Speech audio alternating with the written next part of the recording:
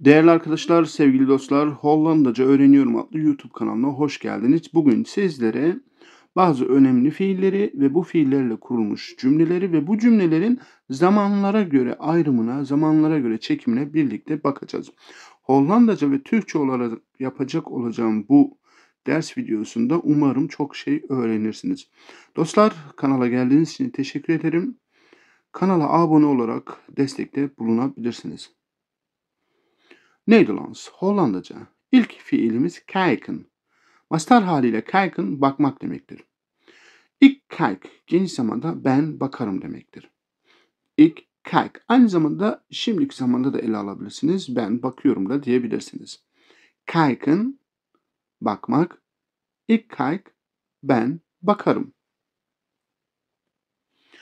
Kijken fiilinin arkadaşlar hemen bir başka zaman dilimindeki versiyonuna geçmeden önce olumsuz haline bakalım. Geniş zamanda ya da şimdiki zamanda. Ik kijk niet. Ben bakmam. Ya da ben bakmıyorum. Değerli arkadaşlar, eğer cümle içerisinde yardımcı fiil yoksa yani tek bir fiil varsa nit olumsuzluk ekini fiilden sonra getiriyoruz. Öznemiz, fiilimiz ve nit olumsuzluk ekimiz. Şimdi de arkadaşlar geniş zamanın biraz daha şu anki durumuna dönmüş hali olan şimdiki zamanın bir başka versiyonuna bakalım. Ik ben aan het kijken. Ben bakıyorum. Arkadaşlar aan het kijken ediyorum, bakıyorum, e, mesela koşuyorum. Oradaki sadece fiili değiştiriyorsunuz ve an het ekini öne alıyorsunuz fiilden önce. Cümlemiz şimdiki zamana çok rahat bir şekilde dönüşmüş oluyor. Peki geçmiş zaman yani şimdikinin geçmiş zamanına bakalım birlikte. Ik was an het kijken. Ben bakıyordum. Ben bakıyordum. Ik was gisteren an het kijken. Ben dün bakıyordum. Arkadaşlar şimdiki zaman ve geniş zamandaki çekimlere baktıktan sonra bir de net olan geçmiş zamana bakalım. Yani olmuş bitmiş bir şey tamam mı? 3 yıl önce, 8 yıl önce, 9 yıl önce, 6 ay önce. Ik cake. Burada onregelmatig durum var arkadaşlar. Yani düzensiz bir fiil durum var. Kijken fiilimiz cake olarak yazılmış. Şimdiki zamanda ve geniş zamanda kayk olarak yazılan bir fiil geçmiş zamana vurulduğunda cake oluyor. Bunu unutmayalım. Peki tamamlanmış geçmiş zamanımız nedir? Yani geçmiş zaman bir başka versiyonu ik heb gekeken. Burada yardımcı fiilimiz hebben var arkadaşlar. Gekeken'deki h eki de arkadaşlar Hollandaca diline ait olan geçmiş zamanı vurgulayan bir ektir. Keken'de hatırlarsınız e, kayk fiilinin onregelmatig düzensiz haliydi. Peki dostlar gelecek zamana dönelim.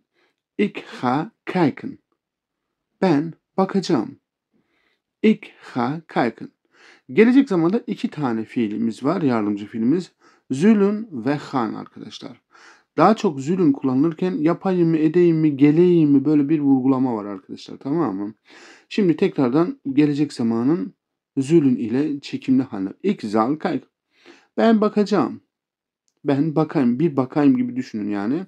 Ama e, formal olarak yani resmi olarak hay kullanırsak arkadaşlar daha güzel olur.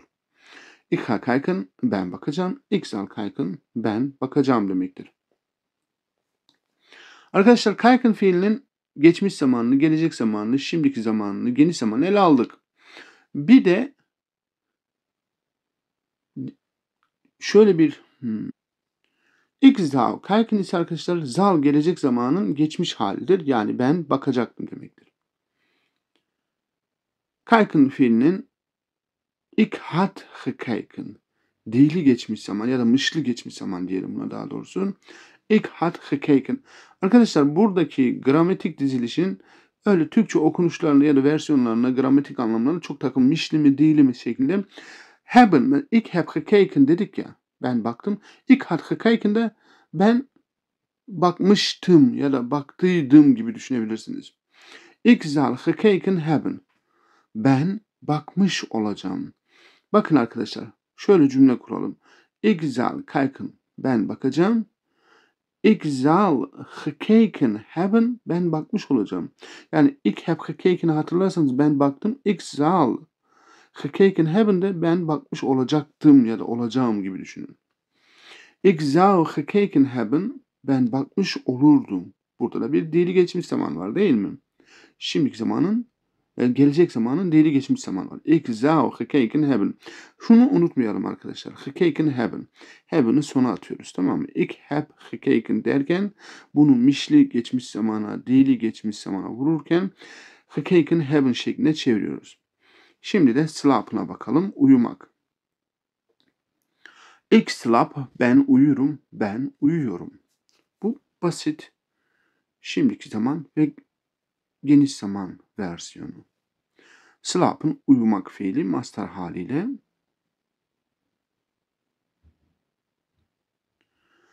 Şimdi de arkadaşlar ik slap niet olumsuz cümleye çevirelim.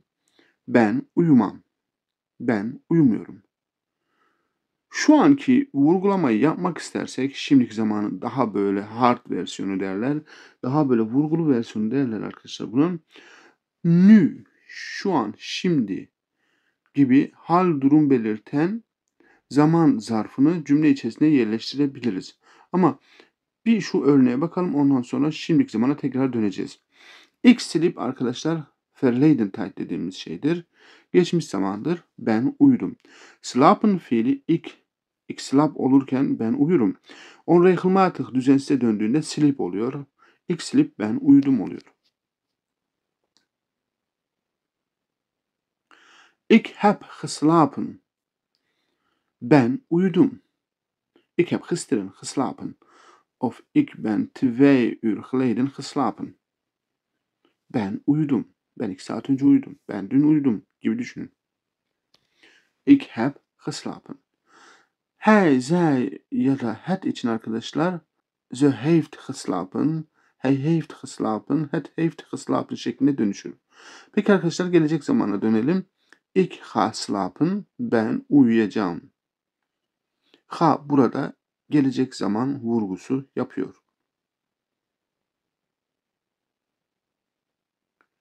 Ik zal slapen. Yine arkadaşlar zulün yardımcı fiilimizle han yardımcı fiilimiz cümlelere gelecek zaman vurgusu yapar. Bu arada zulün arkadaşlar İngilizce versiyonu should şeklinde de dönüşebilir. Yapayım mı, edeyim mi, uyuyayım mı? Yani uyu, uyursam iyi olur. Bir bakayım gibi, bir uyuyayım gibi. Ik zal slapen dedik. Ben uyuyacağım. Bunu da vurguladıktan sonra hemen diğer zaman dilimimize birlikte geçelim. Slapen uyumak dedik. Şimdi de arkadaşlar gelecek zamanın geçmiş haline bakalım. Ik zal geslapen hebben. Ik zal slapen ben uyuyacağım. Ik zal geslapen hebben ben uyumuş olacağım demektir. Hatırlarsanız ik heb geslapen ben uyudum. Ik zal geslapen hebben ben uyumuş olacağım.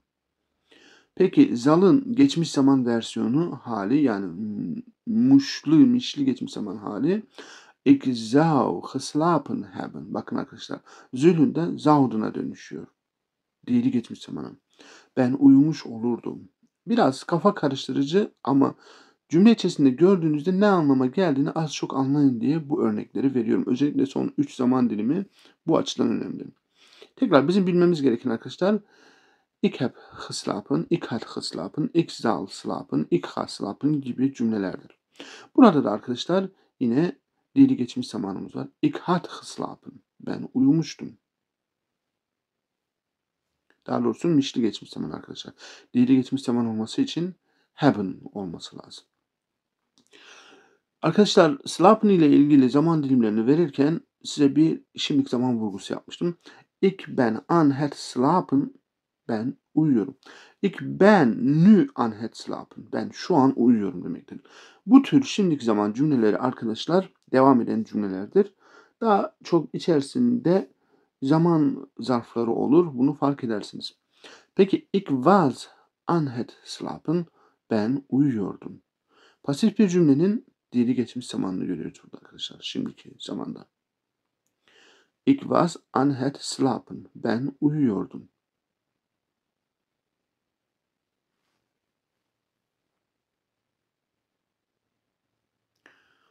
Değerli dostlar, umarım ders videosunu beğenip like bırakıyorsunuz. Şimdi arkadaşlar sizlere bir okuma parçası vereceğim. Bu okuma parçasında geçen 4 ya da 5 tane zaman dilimini vurgulayan cümle var. Bunları bulup eğer yorumlara yazarsanız dersi anlamışsınızdır demektir diye düşünürüm. Ik ben aan het kijken naar de prachtige zonsondergang boven de grachten van Amsterdam. De lucht kleurt in tinten van oranje en roze, terwijl de stad tot rust komt.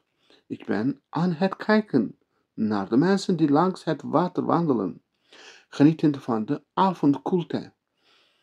In de verte hoor ik het zachte geluid van een straatmuzikant. Ik ben aan het kijken naar een klein café waar vrienden lachen en praten. Het voelt alsof de tijd even stilstaat. Terwijl ik verder loop, ik ben aan het kijken naar de weerspiegeling van de stadslampen in het water en ik voel me gelukkig en blij. Bu okuma parçasında dikkatinizi çeken zaman dilimini vurgulayan birkaç tane cümle var. Bu cümlelerin ya da cümlenin hangisi olduğunu, ne olduğunu bulup yorumlara yazarsanız memnun olurum. Beni izlediğiniz için teşekkürler. Bir sonraki ders videosunda görüşmek dileğiyle. Kendinize iyi bakın. Tot volgende les.